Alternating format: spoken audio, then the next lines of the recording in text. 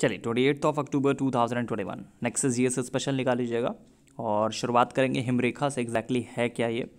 तो हिम की निचली सीमा को हिमरेखा कहते हैं। अच्छांशों, उच्चावच, वर्षण की मात्रा, ढाल और स्थानीय स्थलाकृति में भिन्नताओं के कारण हिमालय के अलग अलग हिस्सों में हिमरेखा जो है, वो अलग अलग होती है। लिखिएगा, एक तरफ़ लिखिएगा हिमनद और एक तरफ़ लिखिएगा नदी। हिमनद और एक तरफ़ लिखिएगा नदी। बंदरपूछ यमुना। बंदरपूछ यमुना। बंदरपूछ यमुना।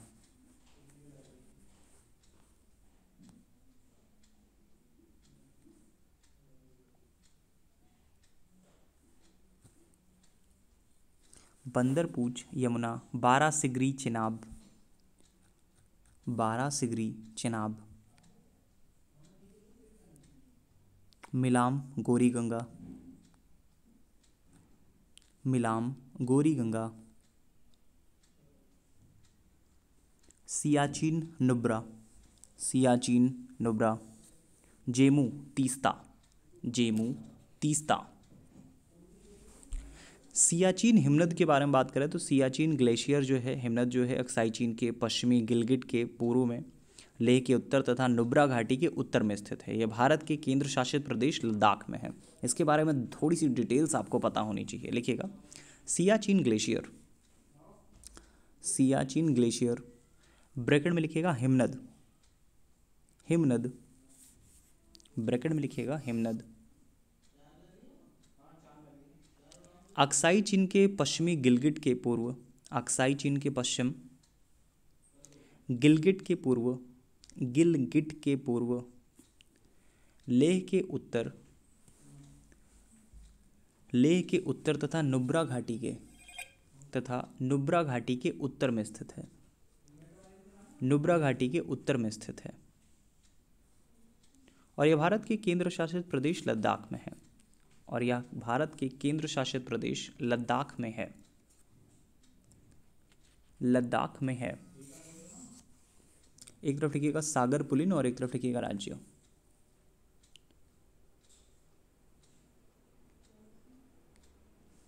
सागर पुलिन और एक तरफ़ लिखिएगा राज्य।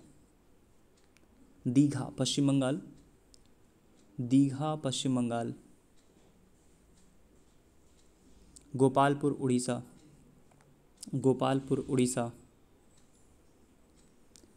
कलागुंट, गोवा। कलागुंट, गोवा।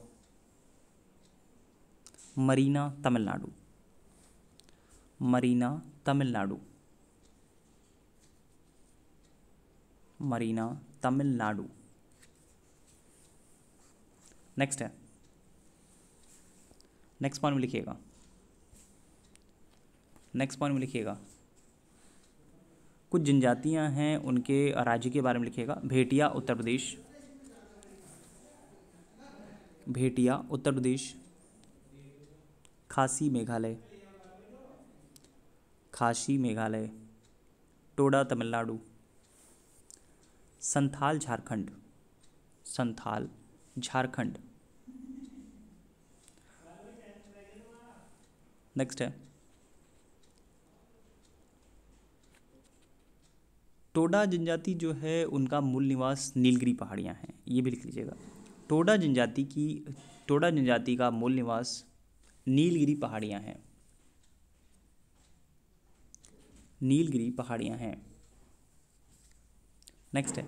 दामोदर के बारे में बात करें तो दामोदर जो है नदी, हुगली की सहायक नदी है और इसका जो उद्भव है छोटा नागपुर पठार से होता है, झारखंड और पश्चिम बंगाल में बहती है और इसकी जो सहायक नदियाँ हैं उनमें बरकी हो गया, जमुनिया है, बराकर है।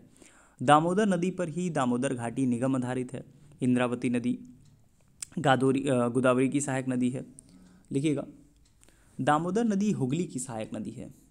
दामोदर नदी हुगली की सहायक नदी है। दामोदर नदी का उद्भव। दामोदर नदी का उद्भव छोटा नागपुर पठार से होता है। छोटा नागपुर पठार से होता है। यह झारखंड और पश्चिम बंगाल में बहती है। यह झारखंड और पश्चिम बंगाल में बहती है। इसकी सहायक नदियाँ। इसकी सहायक नदियाँ बरकी, जमुनिया तथा बराकर है। सहायक नदियाँ बरकी, जमुनिया तथा बराकर है। जमुनिया तथा बराकर है। और दामोदर नदी पर ही, दामोदर नदी पर ही दामोदर घाटी निगम आधारित है। दामोदर घाटी घाटी निगम आधारित है। एक तरफ़ लिखिएगा दुआब और एक तरफ़ लिखिएगा नदियाँ।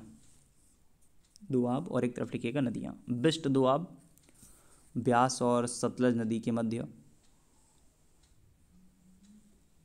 बारी दुआब बारी दुआब। रावी तथा व्यास के मध्य। रावी तथा व्यास के मध्य। चाज दुआब। चाज दुआब। चिनाब तथा झेलम के मध्य। चिनाब तथा झेलम के मध्य।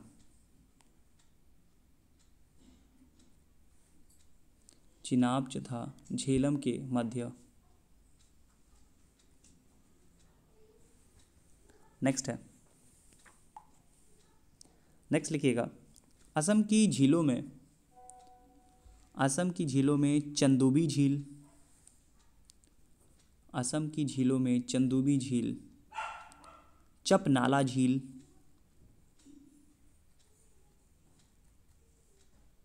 हॉफलांग झील। हॉफलांग झील आदि प्रमुख है। आदि प्रमुख है। कुछ झील हैं जिनके राज्य या केंद्र शासित प्रदेश के बारे में बात कर लेते हैं। वेम्बानाथ केरल। वेम्बानाथ केरल। वेम्बानाथ केरल, लोकटक, मणिपुर। लोकटक, मणिपुर। डल, जम्मू कश्मीर। डल, जम्मू कश्मीर।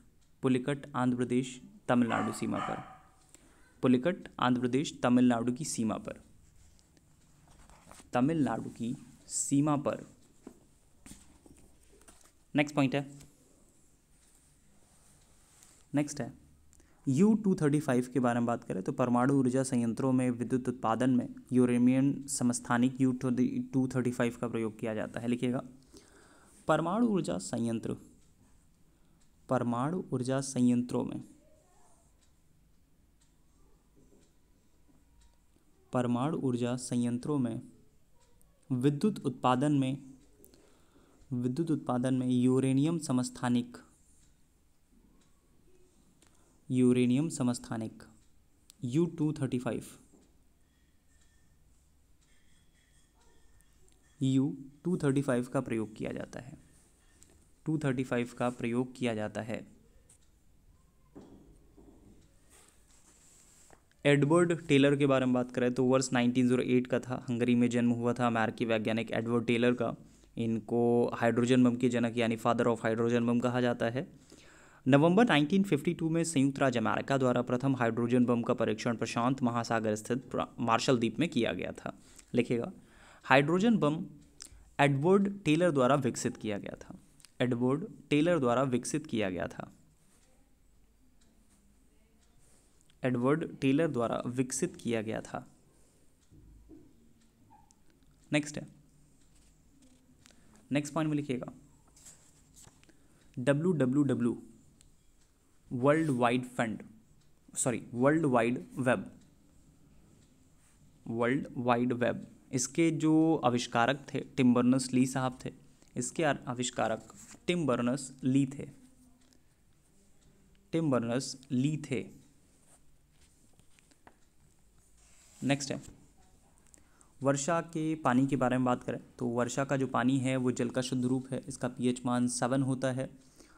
पृथ्वी पर पाए जाने वाले पानी में अम्लीय तथा क्षारी पदार्थ घुले होते हैं, जिससे पानी जो है अशुद्ध हो जाता है। लिखिएगा। वर्षा का पानी। वर्षा का पानी जल का शुद्ध रूप है। जल का शुद्ध रूप है। वर्षा का पानी जल का शुद्ध रूप है। इसका पीएच मान सेवन होता है।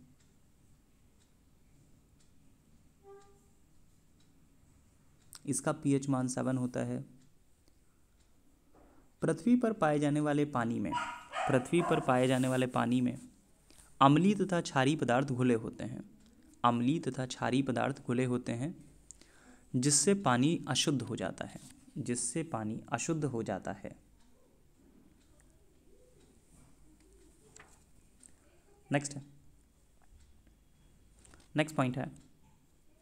नाइट्रस ऑक्साइड के बारे में बात करें तो नाइट्रस ऑक्साइड को हास्य गैस लाफिंग गैस कहते हैं। इसे सूंघने पर हँसी आती है। इसे शल्य क्रिया के समय निश्चेतक मतलब एनेस्थीसिया के रूप में प्रयोग किया जाता है। लिखिएगा। Nitrous oxide. नाइट्रस ऑक्साइड को हास्य गैस मतलब लाफिंग गैस कहते हैं। हास्य गैस या लाफिंग गैस कहते हैं।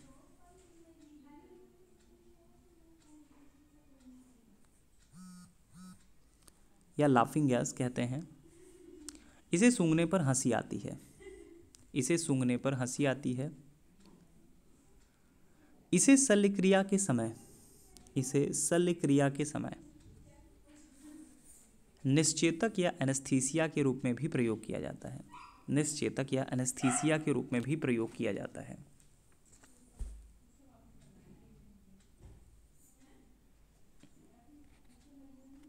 एक तरफ़ लिखिएगा अम्ल का नाम और एक तरफ़ लिखिएगा किसमें पाया जाता है। एसेटिक एसिड सिरका में। एसेटिक एसिड सिरका में। एसेटिक एसिड सिरका। फॉर्मिक एसिड चींटी के डंक में। चींटी के डंक में। लैक्टिक एसिड दही। लैक्टिक एसिड दही। स्कर्बिक एसिड स्कर्बिक एसिड आंवला सट्रम फल टार्टरिक अम्ल, इमली, अंगूर, कच्चे आम आदि। इमली, अंगूर, कच्चे आम आदि।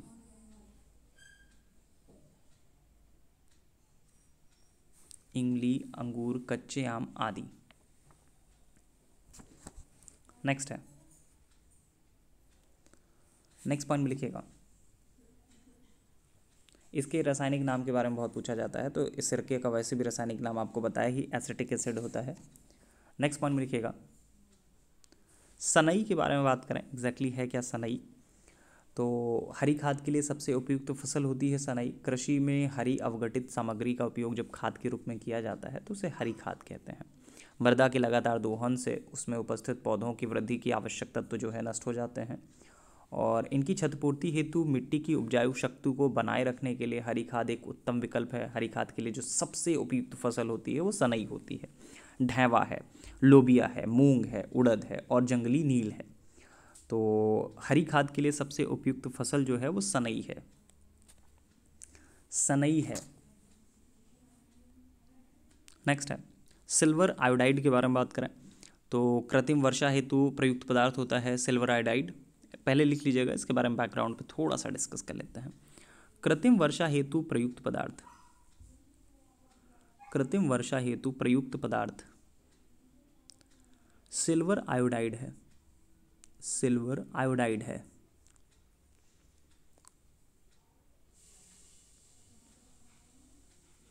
नेक्स्ट है। देखिए क्लाउड सीडिंग मौसम में बदलाव लाने की एक ऐसी प्रक्रिया है जिसमें बादलों से इच्छानुसार वर्षा कराई जा सकती है। आमतौर पर क्लाउड सीडिंग प्रक्रिया में सिल्वर आयोडाइड और शुष्क बर्फ़ जैसी यौगिक प्रयोग किए जाते हैं।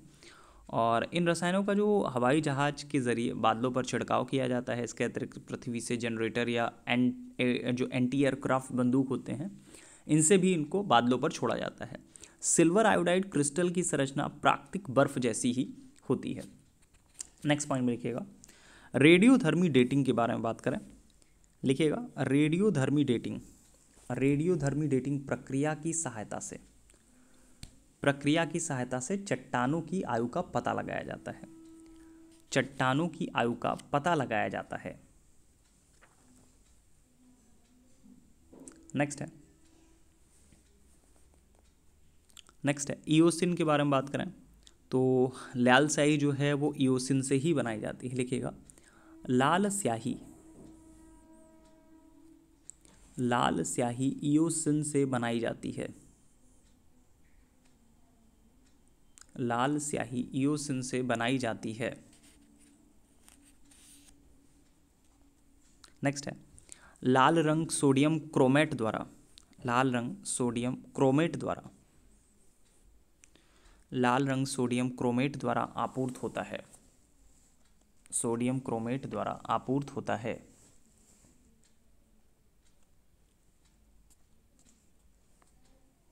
नेक्स्ट है। 1976 की बात है, वर्ष उन्नीस सौ छिहत्तर का था। उन्नीस सौ छिहत्तर से ही ब्राज़ील की सरकार ने गैसोलीन में एथेनॉल मिश्रित करना कानूनन अनिवार्य कर दिया है और एथेनॉल बहुत ज़्यादा चर्चा में है, बहुत इंपॉर्टेंट है ये पॉइंट पूछा जा सकता है आगामी किसी भी पेपर में।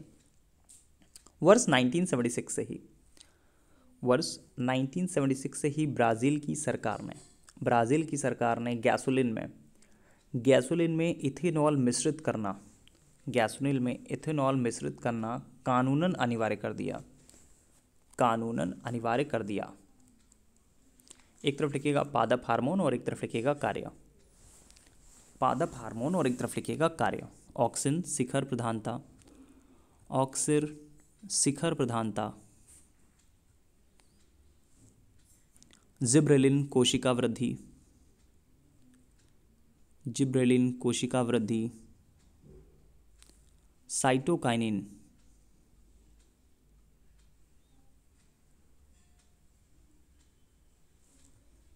साइटोकाइनिन, कोशिका विभाजन। एबसिक एसिड, वृद्धि अवरोधक। एबसिक एसिड, वृद्धि अवरोधक। नेक्स्ट है। C O one one four eight C O one one four eight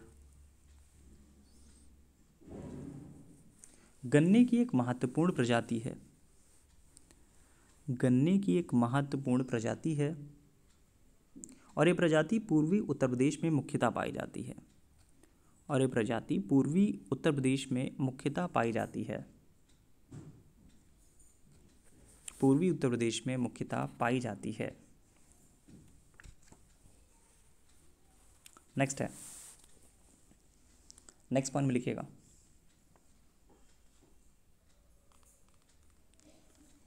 article 18 उपाधियों का अंत. आर्टिकल 18 उपाधियों का अंत. एक तरफ़ लिखिएगा फ़सल और एक तरफ़ लिखिएगा रोग. सरसों. सरसों सफ़ेद गेरुई. सफ़ेद गेरुई. सफ़ेद गेरुई. बाजरा, कंडुआ। बाजरा, कंडुआ।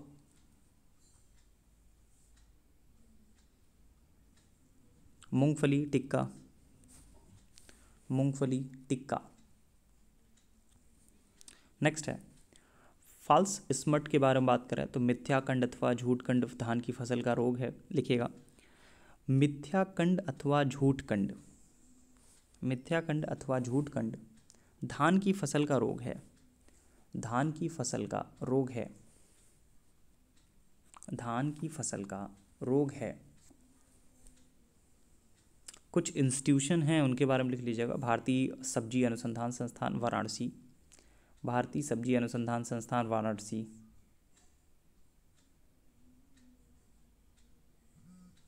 केंद्रीय चावल शोध संस्थान कटक।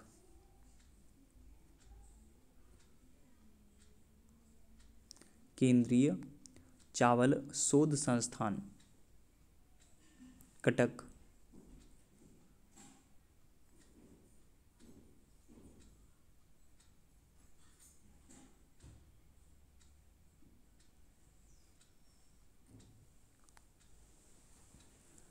केंद्रीय central drug research institute Lucknow.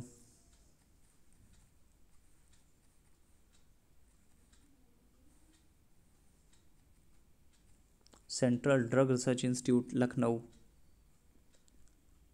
राष्ट्रीय जीव विज्ञान केंद्र, बेंगलुरु।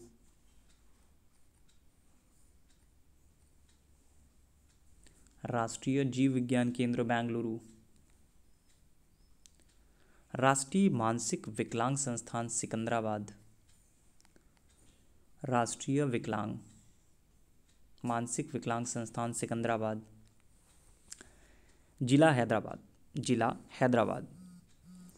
चलिए twenty eighth of October two thousand and twenty one next G S special के लिए इतना ही।